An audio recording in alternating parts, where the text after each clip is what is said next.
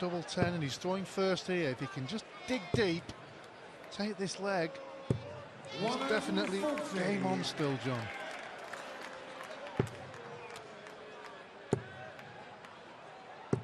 Van Gerwen looks as though he's getting his eye in. Well, there's no doubt it's certainly improved. Lovely cover shots now. Three perfect darts. Can he continue? Yes, he can. And again. And again. So the nine darter is on. Yes, Luke Wood out it two back to back. 180s earlier. 57, Michael Gar, 144. Two treble 20s he'll be looking for. He's got one of them. on. He's Go got on. two of them, double Go on. 12. It is the nine darter for Michael Van Gerwen, and the crowd celebrates.